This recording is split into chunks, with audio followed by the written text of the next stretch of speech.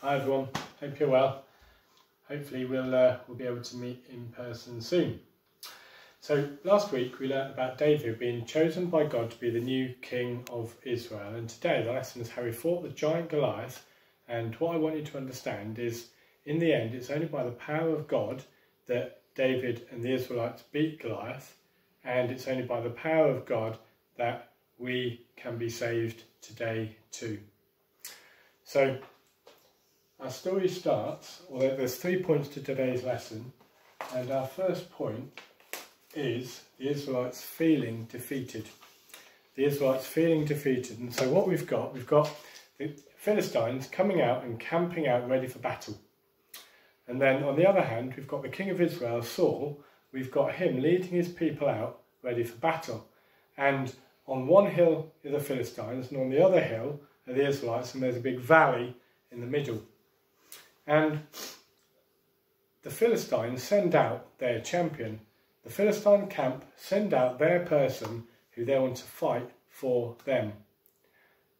And Goliath comes out and he is so scary. And he's got a big helmet. He's got big armour, really strong. He's got a big sword, he's got protection on his legs, and his shield was so big and so strong, someone had to carry it for him. And Goliath had on his back, he had a big javelin, and it was really strong, really heavy, and he looked so fierce. And do you know the worst thing as well? or such another scary thing, he was massive. He was incredibly big. And Goliath wasn't just my height, he wasn't just a bit taller than me, he was so big. And he was about one and a half times my height, which is pretty much the height of the ceiling and a bit more. And if you saw him on a dark night, you would be so scared. And he would come out and he would stand in front of the Philistines, he would look over at the Israelites, and he would shout over the valley. He would say, Why do you even come and fight me? Why do you even come and get ready for battle? You're not going to win. I'm going to win. Send a man to fight me, and if he kills me, we will be your servants. But if I kill him, you will be my servants. Goliath came out in front of the Philistine camp, shouted over to the Israelites like that, for 40 days. Imagine that 40 days having this big monster of a man shout over so threatening to you in that way. It was awful. Do you think any of the Israelites came and fought him? No. Even though God had promised to save his people from their enemies if they trusted in him, King Saul and his people were not trusting God as they should have done. So they were afraid. They already felt defeated and they weren't trusting in God. The Bible says they were terrified. Terrified. Point number two. Let me get rid of this. Point number two.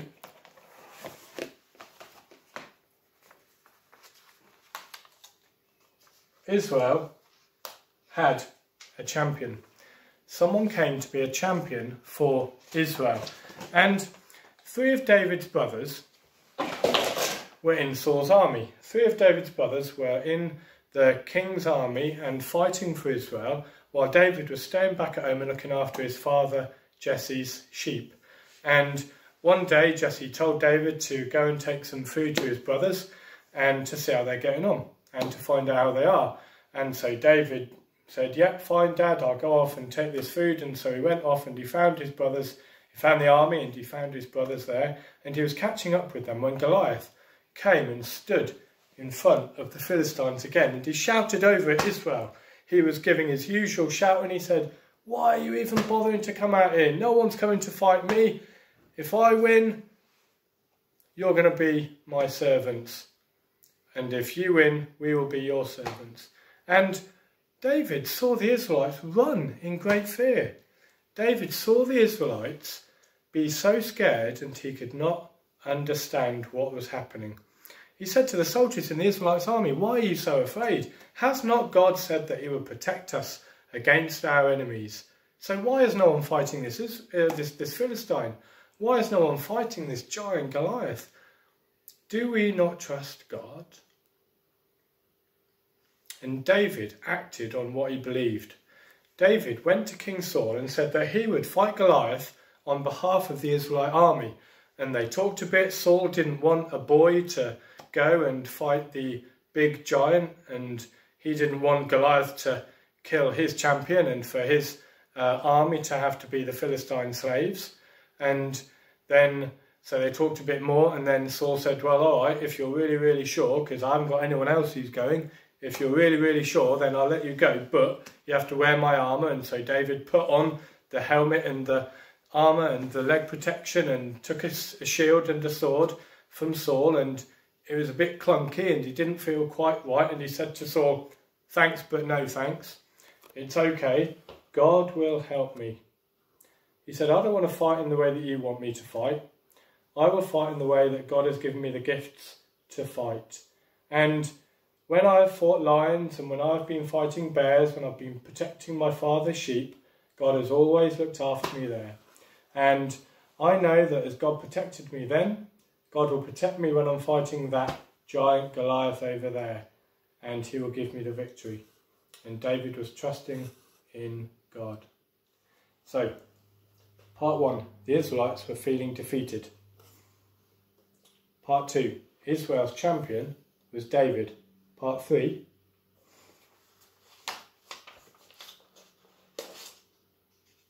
there's no surprises. You probably know what happened next. We're learning about how David had victory over Goliath. And so let's just remind ourselves David went off to fight not with the sword, not with the shield, not with the armour and the helmet and the javelin, but he had a sling and he would take the sling. He took five stones, stones from the uh, river and he had big faith in God's power.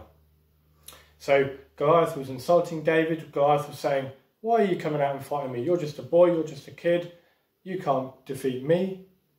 But David had David was so confident in victory because he was trusting God. And he wanted the whole world to know how great God is and how great God's power is and how faithful God is to his people and how he looks after them. So Goliath moved forward to attack David. David took out a stone from his bag. He put it into a sling. He swung the sling. He aimed. He shot. The stone went over there and it was a good shot. It was a great shot. It hit Goliath in the forehead. Goliath fell face down and he died. The big man was dead. David had won. The little guy had won. Not because he was little and he had a great shot, but he was trusting in God's power. And he was faithful to God, and God was faithful to him. The war was over, God's people had won, David was their champion, the Philistine army ran away. David had been absolutely right to trust God for the victory. So, what are our lessons today? There's a, lesson for each of the points. Let's go through them. So, sometimes we feel defeated, don't we? Sometimes we are having uh, a tough time at school, sometimes there's a tough time at home, and sometimes we do feel defeated. And what happens when we what what what should we do? What what happens when we are feeling defeated? We need to trust in God, and that is the lesson that David uh, displayed. That's the example that David gave, and the lesson that we need to learn. So if we're feeling defeated, and if we're not feeling defeated in our battle against a Philistine and someone coming to us with a big sword and really tall and lots of muscles, but our battle is against the devil and against sin.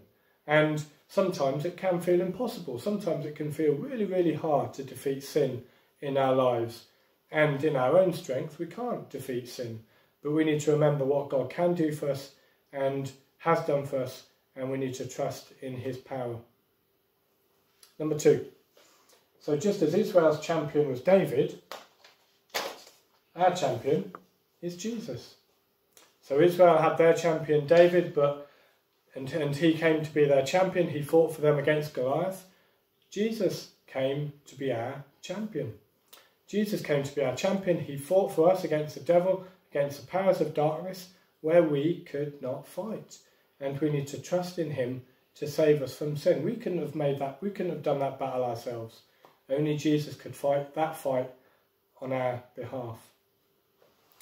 Number three, David had victory over Goliath, and Jesus gives us victory over sin. So just as David won the battle all those years ago when he fought Goliath, when he fought the giant, Jesus has given us the victory against sin so we can be saved. We're not uh, using methods that people would usually expect, just as David didn't use the armour and the way in which people would expect him to fight, but Jesus died. Jesus died on that cross all those years ago so that he could defeat sin. And if we're trusting in him, that we can be saved and our sins forgiven. So only God could give David the power to save the people from defeat in the battle all those years ago when they had swords and javelins and slings. And only God can save us today as we put our trust in Jesus who died for us. And I pray that's true for you. So I hope that lesson's helpful. So if we're feeling defeated, we need to trust in God. Our champion is, is Jesus, and he will give us victory over sin. So I hope you have a good week and hope to see you soon. Bye.